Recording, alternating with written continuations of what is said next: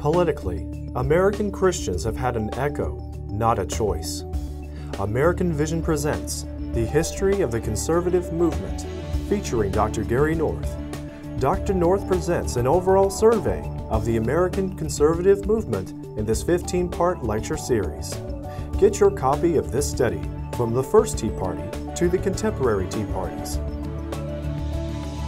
Available now at AmericanVision.com.